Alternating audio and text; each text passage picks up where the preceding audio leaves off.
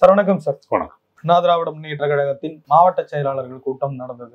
விஜய் கட்சியை தமிழக வெற்றி கழகத்தை விமர்சிக்க வேண்டாம் அப்படின்னு எடப்பாடி பழனிசாமி அவர்கள் உத்தரவிட்டிருப்பதாக தகவல். எப்படி பாக்குறீங்க அது ஒரு ஒரு சாதாரண அரசியல் யுக்தி அப்படின்னு தான் நான் பார்க்குறேன். அவர் என்ன பண்றாரு? அவர் கூட்டணிக்கான ஒரு கதவை திறந்து வைக்கிறார். தமிழக வெற்றி கழகத்தை நோக்கி ஒரு கூட்டணி கதவுடைய திறந்து வைக்கிறார். எதற்காக நான் விமர்சிக்கணும்? அவங்க வந்துட்டு திமுகவை குறி வைக்கிறாங்க திமுகவை தான் முதன்மை எதிரியா அரசியல் எதிரியா பார்க்குறாங்க அப்படின்னு வரும்போது அவங்களுக்கு நம்மளுக்கு எந்த இதுவும். நம்மளை பற்றி அவங்க பேசல. நம்ம ஏன் அவங்கள பற்றி பேசணும்? அப்படின்னு சொல்லிட்டு பேசுறது மட்டும் இல்லாமல் அவங்களுடைய கட்சி சொல்லக்கூடிய தா தமிழக வெற்றி கழகம் என்னெல்லாம் சொல்லுதோ அதற்கு ஆதரவாகவே வந்துட்டு ஜெயக்குமார் பேசிட்டு வர்றாரு. அது சரிதானே? அவங்க சொல்றதுல உண்மைதானே? அப்படின்னு சொல்லிட்டு அவர் பேசிட்டு இருக்காரு. ஸோ அதே தான் அவர் எடப்பாடி வந்துட்டு கட்சியினருக்கும் வந்துட்டு சொல்லியிருக்கிறாரு. அது அவருடைய எதிர்பார்ப்பு எப்படி பாக்குறீங்க? சீமான் எதிர்பார்த்தாரு. நடக்கல. ஒண்ணு புரிஞ்சுக்கணும். தமிழக வெற்றி கழகம் வந்துட்டு அரசியல் மாற்றத்திற்காக வரக்கூடிய ஒரு கட்சி. இது ஒரு மாற்று அரசியல் கிடையாது.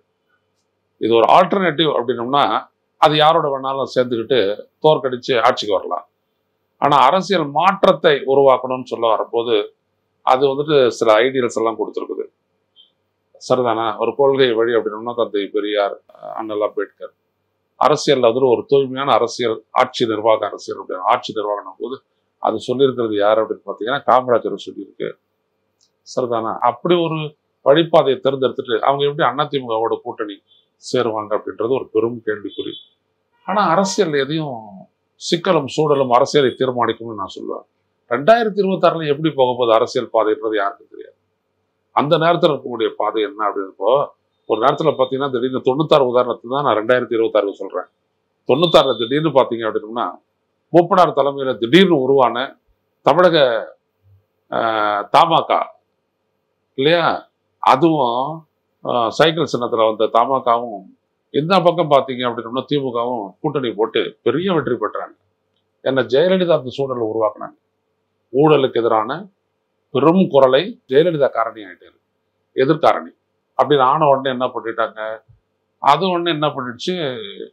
தா தமாகவும் திமுகவும் ஒன்றா சேர்ந்து பெரிய வெற்றி பெற்று ஆட்சியை பிடிச்சாங்க அது ஆயிரத்தி தொள்ளாயிரத்தி தொண்ணூத்தாறு.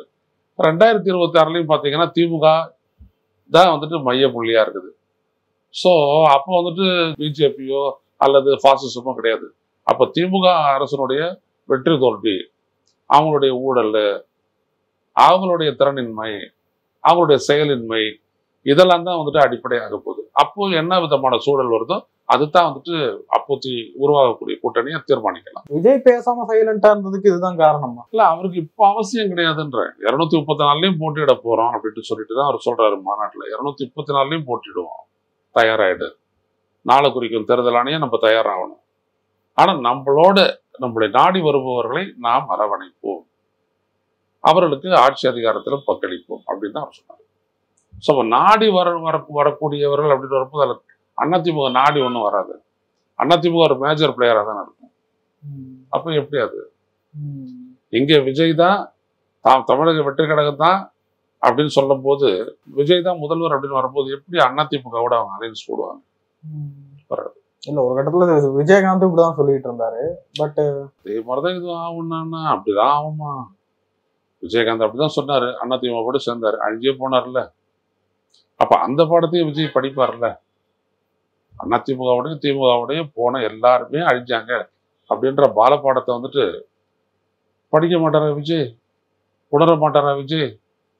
இந்த தமிழ்நாட்டுல ஊழலை எதிர்த்தோ அல்லது இந்த ரெண்டு கட்சிகளை எதிர்த்தோ வரக்கூடிய எந்த அரசியல் கட்சியும் இவங்களோட கூட்டணி சேர்ந்தாங்கன்னா அழிச்சாங்க அது மதிமுக அந்த தவறை முதல்ல செஞ்சது. ரெண்டாவது அந்த தவறு செய்தவர் விஜயகாந்த். தேமுதிக. புரியுதுங்களா? ஸோ அந்த மூன்றாவது இவர் கிடையாது. நிச்சயம் வரவே மாட்டார். ஏன்னா இவருடைய பலம் வேறு பார்வை வேறு. விஜய் சொன்ன அந்த ஊழல் எதிர்ப்புன்றது அண்ணா திராவிட முன்னேற்ற கழகத்துக்கு பொருந்தாது. ஆ அதனால தான் இதை சொன்னேன். எதெல்லாம் திமுகவுக்கு சொல்றீங்களோ அது அனைத்தும் அண்ணா திமுகவுக்கு பொருந்தும். நாங்க ஊழல்னு எது எதெல்லாம் சொல்றோமோ அந்த குற்றச்சாட்டெல்லாம் திமுகவை நோக்கி எதெல்லாம் வீச போறோமோ அதெல்லாம் அதிமுகவுக்கும் பொருந்தும். அது மணல் கொள்ளையாகட்டும் மது கொள்கை கொள்ளையாகட்டும் சாலை போடுதலாகட்டும் திட்டங்களை நிறைவேற்றியதலாகட்டும் நூத்தி பத்து விதிநீடு அறிவிக்கப்பட்ட திட்டங்கள் ஆகட்டும் இல்லை மழைநீர் வடிகால் ஆகட்டும் எல்லா இடத்துலையும் அதிமுக இருந்திருக்குது அதெல்லாம் இப்போ திமுகவும் இருக்குது. அப்படி வரும்போது எங்க தானேன்னு அதனால தான் இல்ல அரித்மெட்டிக்கா இந்த கிரவுண்ட் லெவல்ல இது சேரும்னு நினைக்கிறீங்க. நீங்க பல அரசியலை பார்த்திருக்கீங்க பல தேர்தல்களை பார்த்து இல்லைங்க அது செட் ஆகாது. இப்போ ஒரு தலைவர்கள் சேர்ந்து முடிவு எடுத்துட்டாங்கன்னா தொண்டர்கள் ஏத்துக்கிடுறாங்க அப்படின்னு சொல்லிட்டு சொல்றாங்க. அந்த கான்செப்ட் மக்கள்கிட்ட ஏற்புடையமையா இருந்தா தான் நீங்க ஜெயிக்க முடியும். இல்லாட்டி திமுக பாஜக எதிர்ப்பு வாக்குகளை ஒன்று திரட்டுவதன் மூலம் அதை தோக்கடிக்கலாமா இல்ல இல்ல அது மட்டுமே போதுமானது கிடையாது. அது மட்டுமே போதுமானது போதுமானது கிடையாது. ஒரு மாற்றத்திற்கான ஒரு அரசியல் அப்படின்றது ரொம்ப ஆழமானது. ரொம்ப ரொம்ப ஆழமானது. இப்ப விஜய் முன்னெடுக்க போற அந்த அரசியல் தான் வந்து அதை தெளிவுபடுத்தும் விஜய் வந்துட்டு ஒரு குற்றச்சாட்டு அரசியலோட நிக்க போறதுல தமிழக வெற்றி கழகம் அதையும் தாண்டி தான் அது போக போகுது. ஒரு போராட்ட அரசியல் மூலமா தான் மக்கள்கிட்ட ஒரு ஆழ்ந்த நம்பிக்கை அது பெற முடியும் பெறப்போகுது. அப்படி இருக்க அது வேற. அது அவ்வளோத்தையும் செஞ்சுட்டு அதை எடுத்துட்டு போயிட்டு வேற ஒரு இடத்துல அடங்கி வச்சிடாது. அது அவங்களுக்கே அப்போ தெரியும். அந்த காலகட்டத்தில் தெரியும். நம்மளுடைய ஸ்ட்ரென்த்து நம்மளுடைய பியூரிட்டி இந்த பொலிட்டிக்கல் அரசியல் தூய்மை இதை எடுத்துகிட்டு போயிட்டு எங்கேயாவது அடங்கி வச்சு நம்மள நம்ம இடக்கணுமா அப்படின்ற ஒரு பெரிய கொஸ்டின் வந்துடும் அவ்வளோதான் இது வந்துட்டு தமிழக வெற்றி கழகத்தின் மீது செலுத்தக்கூடிய ஒரு ப்ரெஷர் இது. அதிமுக சேருவாங்க அதிமுக சேருவாங்க அவங்க ரெண்டு பேரும் ஒன்றா போவாங்க அப்படின்றது ஒரு ப்ரெஷர் ஊடகத்தின் வழியாக உருவாக்கப்படக்கூடிய ஒரு அழுத்தம். இந்த அழுத்தத்துக்கு அவங்க விளைவாங்கன்னு நான் எதிர்பார்க்கல. இப்ப விஜய்க்கு அண்ணா திராவிட முன்னேற்ற கழகம் அப்படின்ற ஒரு கட்சியோட கூட்டணிக்கு போறதுல பிரச்சனையா இருக்குமா? இல்ல ரெண்டாவது இடத்துல அவங்களோட போறதுல பிரச்சனையா இருக்குமா? அதிமுகவோட கூட்டணின்ற பேச்சே தப்பானதுன்ற அப்புறம் எங்க நீங்க அப்படி சொல்றீங்க? அதிமுகவோட கூட்டணின்றதோ திமுகவோட கூட்டணின்றதோ பாஜகவோட கூட்டணின்றதோ அது கொள்கை ரீதியான தாவைக்காவனுடைய தோல்வியாகி விடும் தான் இவ்வளவுதான் என்னுடைய பகுப்பாய்வு. இதுக்கு மேல அந்த கட்சி முடிவெடுக்கணும். ஆனா அந்த கட்சி முடிவெடுக்க போன நேரம் இருபத்தாறு. ஏன்னா அதுக்குள்ள பாத்தீங்கன்னா ஒரு ஒன்றரை வருஷத்து களப்பணி அவங்களுக்கு இருக்குது. அதுல இருந்து அவங்க தேறிடுவாங்க. தேறி வந்துருவாங்க. அப்ப பார்க்கணும். இன்னொரு பக்கம் திராவிட முன்னேற்ற கழக கூட்டணியும் உடையாது அப்படின்னு திருமாவளவன் அறிவிச்சிட்டாரு. நாங்களாம் வெளியேற மாட்டோம். அதிமுகவும் இல்லைன்னா தமிழக வெற்றி கழகம் சர்வே பண்ண முடியுமா? அதெல்லாம் ஒண்ணும் கிடையாதுங்க. மக்கள் வந்துட்டு தங்களுடைய வாக்குகளை வந்துட்டு அதிமுகவுக்கு திமுகவுக்கு எழுதியா கொடுத்துருக்காங்க அப்படி பார்த்தா இந்த கட்சிகள்லாம் பெருந்தோல்வி சந்திச்சிருக்க கூடாது. இல்ல முதல் தேர்தல்ல ஒரு மாற்றம் வருமா? ஏங்க முதல் தேர்தலில் மாற்றம் வருது வரல அது வேற விஷயம். ஒரு அரசியல் கட்சி அப்படின்றது மக்களினுடைய தேர்வு. இன்னொரு கட்சியோ இல்ல அரசியல் கருத்துக்களோ அதை நிர்ணயிக்க முடியாது. நான் சொல்றது விளக்குதுங்களா இல்ல இல்ல இங்க பாருங்க திமுக இருக்குது இந்த பாருங்க அண்ணா திமுக பாருங்க அந்த பக்கம் பாஜக இருக்குது இந்த பக்கம் பாத்தீங்கன்னா எல்லாரும் ஒண்ணா இருக்கிறாங்க திமுகவோட. இதெல்லாம மக்களை நிர்ணயிக்க போகுது. இப்போ ஒரு பெரிய முடிவை வந்துட்டு சரிக்கிட்டாரு இவ்வளவு தூரம் தாம் ஆஹ் திரும்ப நல்லா பண்ணிக்கிட்டே வந்தவர் ஒரு பெரிய முடிவுல சரி சரிக்கிட்டாரு அவர் சொன்னதுக்கு எதிராகவே அவர் கருத்து சொல்றாரு. இல்லையா? கூட்டணி அரசு அப்படின்ற ஒரு இடத்துல அவரே சரிக்கிட்டாரு சரிக்கிட்ட உடனே அவர் விழுந்து விட்டு அப்படி விழுந்துகிட்டே இருக்குமா? அந்த கட்சிக்கு ஒரு முதன்மையான இடம் அந்த கட்சியை போன்ற மற்ற கட்சிகளுக்கு ஒரு முதன்மையான இடம் கூட்டணி அரசு உண்டு அப்படின்னு சொன்ன விஜய்க்கு அந்த ஓட்டு வாக்குகள் திரும்பிச்சுன்னா என்ன ஆகும்? எடுப்பாங்களா எடுக்க மாட்டாங்களா? அது சிம்பிள் ஆஸ் தட் விஜய்க்கு இருக்கிறது என்னங்க? மிகப்பெரிய ரசிகர் கூட்டம் அபிமானம். அந்த அபிமானம் நம்பிக்கையா மாறும் பொழுது பெரும்பலம் அது. பெரும்பலம் அப்பதான் எல்லாமே மாத்தி நிர்ணயிக்கப்படும். எனவே இவங்களை நம்பி அது கிடையவே கிடையாது. அந்த கட்சி ஆன் இட்ஸ் ஓன் பலம் வாய்ந்த ஒரு அடித்தளத்தோட தான் அது வருது வந்திருக்குது. இன்னொரு பக்கம் சீமான் அவர்கள் அப்பப்போ ரொம்ப கொந்தளிக்கிறார். விஜய் கட்சியை பார்த்து விஜயனுடைய கட்சியினுடைய கொள்கைகளை பார்த்து விஜயை பார்த்து. எப்படி பாக்குறீங்க இல்ல, விஜய் வந்துட்டு இந்த விஷயத்த என்ன அப்படின்னா அப்படியே அவரை பத்தி ஒரு பெருசா பேச வேண்டாம். கடந்து போயிடுங்க அப்படின்னாரு. நான் ஒரு விடயத்தை மட்டும் சொல்லுவேன். அது என்னன்னா அவருக்கு ஏற்பட்ட ஏமாற்றத்தினுடைய வெளிப்பாடு அவ்வளவுதான். அவர் கொந்தளிக்கிறாரு அப்படின்னோம்னா அவர் எதிர்பார்த்தது மாதிரி விஜய் பேசல நடந்துக்கல. அந்த கொள்கை அமைப்பு இல்லை. அவ்வளவுதான். ஒரு இனவாதத்தை தமிழக வெற்றி கழகம் ஏற்கல. As that. எந்த அடிப்படையிலையும் மதமோ சாதியோ இனமோ மொழியோ எல்லா அடிப்படையிலையும் இருக்கக்கூடிய பிளவுவாதத்தை ஏற்கவில்லை. அது சீமானுடைய கட்சி அவர் கடைபிடிக்கிற கொள்கைக்கு நேர் எதிரானது. அதுக்கப்புறம் அவரால் வர முடியாது. ஸோ அவர் அவருடைய பேச்சில் வந்து இவங்க எல்லாம் பத்தி ஒரு மென்ஷன் கூட கிடையாது. அவர் ஒண்ணே ஒன்று சொன்னார் தமிழ் தேசியமும் திராவிடமும். அந்த ரெண்டு கருத்தியலையும் எனது இரண்டு கண்கள் போன்றவை அப்படின்னாரு. அவ்வளவுதான். அது காரணம் என்ன? ரெண்டுத்துல இருக்கக்கூடிய அடிப்படையான கூறுகள் வந்துட்டு மிக ஆழ்ந்த அரசியல் அது. அதை அவர் அப்படியே ஒரு மதிப்போடு எடுத்துக்கிட்டார் அவ்வளவுதான். ம். எங்களை பொறுத்த வரைக்கும் மதச்சார்பற்ற சமூக நீதி அப்படின்ற ஒரு அடிப்படை தான். அதெல்லாம் எனக்கு தெரியுது. எதிரில் இருக்கிறவங்களுக்கு எப்படி தெரியும். நடைமுறைப்படுத்த போறோம். நடைமுறைப்படுத்த போதானே தெளிவா இல்லையான்னு தெரியும். ம். நாம் தமிழர் கட்சிக்கு விஜய் கட்சியினால எதுவும் பாதிப்பா எதுவும் அவங்களுடைய ஓட் ஷேர் பாதிக்கப்படும்? எல்லாருக்குமே பாதிப்பு ஏற்படும். இது வரைக்கும் விஜயனுடைய ரசிகர்களா இருக்கக்கூடிய ஓட்டு வாக்குகள் வந்துட்டு எல்லாருக்கும் போயிருக்கலாம் இல்லையா?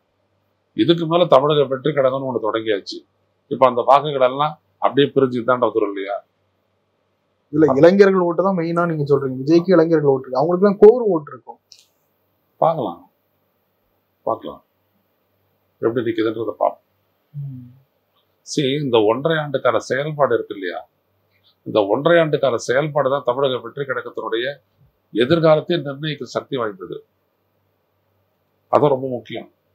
அவங்க அரசியல் ஆகிறதும் இந்த அரசியல் கட்சியை பொறுத்த வரைக்கும் மக்களினுடைய நம்பிக்கையை பெறுவதில் தான் அந்த கட்சியினுடைய எதிர்காலமே இருக்கு. ஸோ இது அதுக்கப்புறம் இருபத்தாறுல ஜனவரி பிப்ரவரியில் பேசக்கூடிய விடயம் இது. அப்பதான் அந்த கேள்விக்கு பதில் சொல்ல முடியும். இப்போ சொல்ல முடியாது திருமாவளவன் அவர்கள் ஆறாம் தேதி டிசம்பர் ஆறாம் தேதி ஒரு புத்தக வெளியீட்டு விழாவில் விஜயோட சேர்ந்து பங்கேற்பதாக ஒரு செய்தி வந்தது. இப்ப திருமாவளவன் அவர்களே அதை கொஞ்சம் யோசிக்கிறாரு. நான் கட்சியினோட கலந்து பேசிதான் அதுல ச- பங்கேற்கிறதா இல்லையான்றதே முடிவு பண்ணுவேன் அவர் பின்வாங்கினார்னா அது அவருக்கு ஒரு மிகப்பெரிய ஒரு பின்னடைவாயிடும். எப்படியாப்பட்ட பின்னடைவானா பயப்படுறாரு? விஜயோட ஒரு புத்தக வெளியீட்டுல கூட நிக்கிறதுக்கு வந்துட்டு திருமாவளவன் பயப்படுறாரு. அப்படிதான் ஆகும் புத்தகம் யார் பேர்ல வெளியிட போறது? அம்பேத்கர் பேர்ல. அதை வெளியிட போற எழுதினவர் யாரு? அந்த கட்சியில் இருக்கக்கூடிய துணை பொதுச் செயலர். அவர் ஃபிக்ஸ் பண்ணித்தான் இவர் ஏத்துக்கிட்டாரு. இப்ப அது வேணான்றாருன்னா என்ன கம்பல்ஷன் அப்படின்ற ஒரு கேள்வி வரும். எந்த அழுத்தத்தின் காரணமும் அவர் அதை விட்டு தராரு அந்த இடத்த ஸோ அது அவருக்கு நன்மை பயக்குமா தீமை பயக்குமா? அவ்வளவுதான். இது திருமாவளவன் அவர்கள் எது நடந்தாலும் நான் தேர்தல் அரசியலே துறக்கிறதுக்கு தயார் அப்படின்னு சொல்லுவாரு. பட் இந்த சமயத்துல எதுக்கு நீங்க திறக்க போறீங்க? எனக்கு புரியவில்லை நீங்க எதுக்கு தேர்தல் அரசியல் திறக்க போறீங்க? எதுக்கு நீங்க திறக்கணும்? இருந்தா திமுகவோட இல்லாட்டி தேர்தல் அரசியல் திறந்துருவீங்களா? உன் கட்சிக்காரன் ஒத்துக்குருவானா அதை? எதுக்கு நீங்க திறக்கணும்? திமுகவோட ஆட்சியில் பங்குன்ற ஒரு விடயத்தை வலியுறுத்த முடியல அப்படின்னோம்னா உடனே நீங்க திறந்துருவீங்களா தேர்தல் அரசியலை? அது கடுமையான விளைவுகளை வந்துட்டு விடுதலை சிறுத்தைகளுக்கு ஏற்படுத்தும். அதை முதல்ல புரிஞ்சுக்கணும். ரொம்ப கடுமையான விளைவுகளை ஏற்படுத்தும். ஒரு கட்சியினுடைய வசதிக்காக இன்னொரு கட்சி இயங்க முடியுமான்னு எனது கேள்வி எவ்வளவுதான் அவர்களுக்கு. ஒரு திராவிட முன்னேற்ற கழகத்தினுடைய வசதிக்காக இயங்கக்கூடிய ஒரு கட்சி அது. அப்ப இதுக்கு நான் அப்செக்டிவ்லாம் இல்லையா? ஆனா எப்ப நீங்க சாதிப்பீங்க? கூட்டணியில் தான் இடம் உண்டு. ஆட்சி ஆட்சியில் எந்த இடமும் இல்லை அப்படின்னு சொல்லக்கூடிய ஒரு கட்சிக்காக உங்களுடைய கட்சியை நீங்க பலியிடுவீங்களா? அவ்வளவுதான் என்னோட கேள்வி. நீங்க பாசிசம் பாசிசம் பாசிசம் நீங்க எவ்வளோ நாள் சொல்லிட்டு இருக்க போறீங்க. அதான் முறியடிச்சாச்சுல நாற்பது இடங்கள்லையும். அப்புறம் அடுத்த கட்டமா இங்க வருது. இந்த இந்த மாநிலத்தினுடைய எதிர்காலத்துக்கு வருது. இங்க வாங்க பேசுங்க. அப்ப நீங்க அதை காட்டி இதை மூடுறீங்க. எதுக்காக? அந்த கட்சிக்காரர் கேட்பானா இல்லையா? விடுதலை சிறுத்தைகள் தொண்டர்கள் கேட்பாங்களா இல்லையா? எதுக்கு எதுக்கு தலைவரை? ஏன் எல்லாத்தையும் நம்ம விட்டு கொடுக்கணும்? கேட்பானா இல்லையா? என்ன பதில் அப்போ அதுக்கு? கிடையாது. அவர் தப்பு. என்னைக்கு விஜய் இதை சொன்னாரோ அதை வந்துட்டு வர பலரும் வரவேற்று அறிக்கை கொடுத்துட்டான் பேசிட்டான். யூடியூப்ல போட்டுட்டான். ஆனா திரும்ப மட்டும் சொல்றாரு இது வந்துட்டு ஒரு இதை. பயன்படுத்தி கொள்ள வேண்டிய திருமாவளவன். ஏன்னா இந்த கோரிக்கை அவர் பல இடத்துல வலியுறுத்தி இருக்கிறாரு மது ஒழிப்பு மாநாட்டே அவர் பேசின விஷயங்கள் சில சர்ச்சை. இதை பயன்படுத்த வேண்டிய நேரத்துல ஏன் பயன்படுத்த தவறார் அதுதான் திமுகவோட அவர் நிக்கிறாரு. திமுகவுக்காக வந்துட்டு அவர் விட்டு தர்றாரு. அதான் சொல்றேன் திமுகவுக்காக அவர் கொள்கையை பலியிடுறாருன்னு நானு. இதை விட வேற என்ன சொல்ல முடியும்? கொள்கையை பலியிடுற அளவுக்கு இறங்கிட்டாரா திருமாவளவன்? ஆமா இறங்கிட்டாரு தான் என்ன அதுல சந்தேகம்? இறங்கிட்டாரு தான் அவர் சொல்லக்கூடிய சொற்கள் என்னைக்கு அந்த மாநாடு இருபத்தி ஏழாம் தேதி நடந்ததோ அதுல இருந்து இந்த ஏழாம் தேதி வரைக்கும் இந்த பத்து நாள்ல பதினோரு நாள்ல நீங்க பாத்தீங்கன்னா இறங்கிட்டு தான் இருக்காரு. இறங்கு முகமே செய்ய வேண்டிய அவசியமும் இல்லை. வரவேற்கிறேன். ஒரே வார்த்தை முடிஞ்சு போச்சு. அவ்வளவுதானே நீங்க சொல்லணும்? அப்புறம் அதை பேசி அப்புறம் எவ்வளவு முட்டு கொடுக்குறாரு அவரு? ஏன் காரணம்? நீங்க நிக்கிற கட்சிக்கு எதிராக விஜய் சொன்ன ஒரு பாரிய குற்றச்சாட்டு. பெரியார் பெரிய அண்ணன் பெரிய சொல்லி கொண்டு நடக்கின்றது ஆட்சி ஊழல். அதான் ரொம்ப முக்கியம். சுயநலம் குடும்ப அரசியல் அப்படின்ட்டு அவர் சொல்லிட்டார். அதுதான் அவங்களுக்கு வந்துட்டு மிகப்பெரிய அளவிற்கு பாதிக்குது. வேற ஒண்ணுமே கிடையாது. உடனே அதை மூடுறதுக்காக பாசிசம் பாயாசம் அதை எடுத்து வச்சுட்டு பேசினாரு. அதனால தான் நாங்க வெளியில வந்துட்டு அதை பேசணும். கிடையாது அப்படின்ட்டு. எதை நீங்க மறைக்கிறீங்க அப்படின்றத பாருங்க அப்படின்றத நம்ம பேசணும். அதனால விஜய் அவர்களும் சில விஷயங்களை தவிர்த்திருக்கலாமோ? இதெல்லாம் மறைமுக ஸ்ட்ராட்டஜி ஹிடன் நாங்க பேசுனது எதுவுமே தவிர்க்க வேண்டிய விடயம் இல்லை. இங்க ஒரு அரசியல் நடக்குது. எல்லாத்தையும் பேசுவாங்க. ஆனா எதுவுமே செயல்படுத்த மாட்டாங்க. அதுக்கு ஒரே உதாரணத்தை சொல்றேன். சாம்சங் போராட்டத்துல நீங்க எங்க நின்னீங்க? அரசு யார்கிட்ட இருந்துச்சு? போராடினதுனால அந்த அந்த தொழிலாளர்களுக்கு எல்லாம் கிடைச்சது. ஆனா அந்த ஒரு தொழிலாளர்களுக்கான யூ- யூனியன் அப்படின்ற ஒரு பதிவு சட்டபூர்வமானது அதை கூட செய்ய தவறிய அரசு திமுக அரசு. ஆனா அதுக்கு போயிட்டு பாராட்டு நான் சொல்றீங்க. விடுதலை சிறுத்தைகள் இந்திய கம்யூனிஸ்ட் நாட்டிய மார்க்சிய கம்யூனிஸ்ட் மூணு பேரும் போயிட்டு அவருக்கு பாராட்டு சொல்றீங்க. எதுக்காக பாராட்டு சொல்றீங்க? ஸ்மூத்தா அவங்க தான் முடிச்சாங்களா? நீங்க தொழிலாளர்களை போட்டு கொடுத்துட்டீங்கல்ல? ஒரு யூனியனுக்கான ரைட் அவனுக்கு இருக்கா இல்லையா? சாதிச்சு கொடுத்தீங்களா? யூனியனுடைய இது சரி அப்படின்றதுக்காக தான் அவனுக்கு ஆதரவு தெரிவிச்சுங்க. யூனியன் அவனுக்கான ஒரு தொழிற்சங்கம் அமைக்கக்கூடிய உரிமை சட்டபூர்வமானது அப்படின்றதுக்காக தானே ஆதரவு தெரிவிச்சுங்க. விடுதலை சிறுத்தைகளும் இந்திய கம்யூனிஸ்டோ பாரசீக கம்யூனிஸ்டோ அந்த உரிமையை பெற்று தந்துட்டீங்களா? பெற்று தராதையும் வந்துட்டு நல்லபடியாக முடிச்சாரு. அப்படி சொல்லிட்டு ஏன் ஸ்டாலினுக்கு போயிட்டு மாலை போடுறீங்க? சொல்லுங்க எந்த இடத்துல நல்லா முடிச்சுன்னு சொல்லுங்க. அப்போ உங்களை நம்பி ஒன்று போட்டு கொடுத்துட்டு வந்துட்டீங்களா அப்புறம் என்ன இருக்குது உங்ககிட்ட? அப்போ இதெல்லாம் இதுதான் இவங்களுடைய கொள்கை கூட்டணி அதனுடைய அழகு அவ்வளவுதான். ரெண்டு சீட்டுக்காக இவ்வளவு தூரம் நீங்க கொள்கையை சரண்டர் பண்றீங்க. இப்போ இதை பார்க்குற மக்கள் உங்களுக்கு வாக்களிப்பாங்களா? இல்ல உங்களுக்கு எதிராக தமிழக வெற்றி கிடைக்கிறதுக்கு வாக்களிப்பாங்களா? சொல்லுங்க. நாங்க தெளிவாக வாதிட்டோம் அவங்களுக்கு ஆதரவாக தான். என்ன தப்புன்ற குரல் கேட்டோம். குரல் கொடுத்தோம். பேசணும் ஊடகத்துல. இங்க எப்படி நம்ம பேசுவாங்க? ஐயா செய்ய மாட்டாங்க? நாங்க செய்வோம். நாங்க அந்த மக்களுக்காக நிற்போம். உறுதியா நிற்போம். ஆட்சிக்கு வரும்போது நிறைவேற்றுவோம். அது இந்த ரெண்டு கட்சிகளை விட இங்க இருக்கக்கூடிய கட்சிகளை விட முற்றிலும் வேறுபட்ட ஒரு கட்சி தான் இது அப்படின்றத நிரூப நிரூபிச்சிருவோம் மக்கள் மத்தியில. அதுல இரு வேறுபட்ட கருத்துக்கு இடம் ஐயமே வேண்டாம். எங்களுடைய தீர்மானத்துல நாங்க சொல்லக்கூடிய விடயங்கள் எதையெல்லாம் கோரிக்கையா வச்சோமோ அதை நாங்க நிறைவேற்றுவோம். இல்ல அந்த மக்களுக்காக நின்று போராடுவோம். ஸ்டாலின் அவர்கள் சொல்றாரு திமுக அழிச்சிருவோம்னு இப்ப புதுசா நிறைய பேர் கிளம்பியிருக்காங்க. அதாவது நான் ஒன்னே ஒண்ணு சொல்ல வரேன் எந்த கட்சியும் ஒரு கட்சி அடிக்க முடியாது. அது அந்த காலகட்டத்திற்கான கட்சி அது இல்லை அப்படின்னோம்னா மக்கள் அதை நிராகரிக்க போறாங்க. அதுதான் அதனுடைய அழிவுன்றது. அது இன்னொரு கட்சியும் செய்ய முடியாது. எனவே அதெல்லாம் சும்மா பேச்சு. இது கூட ஒரு அச்சத்தின் வெளிப்பாடாக தான் நான் பார்க்குறேன். தமிழக முதல்வர் ஸ்டாலின் அவருடைய பேச்சு கூட ஒரு அச்சத்தின் வெளிப்பாடாக தான் நான் பார்க்குறேன். எதுக்கு அடிக்க போறோம்? எதுக்கு அடிக்க போகுது? அது எப்படி அடிக்க முடியும்? வாக்கு அரசியல நம்ம நிக்கிறோம். மக்கள் வாக்கு போட்டால் ஆட்சி இல்லாட்டி எதிர்க்கட்சி இல்லாட்டி நிராகரிப்பு மூணு இடம் தான். இதுல எப்படி அடி வரும்? நீங்களா பார்த்து குடும்ப அரசியலை மேம்படுத்தி ஊழலை மேம்படுத்தி எல்லாத்தையும் பண்ணிட்டு அழிஞ்சு விட்டு அப்புறம் இன்னொருத்தர் நீங்க குற்றம் சாட்டுவீங்களா? கேக்குறேன்.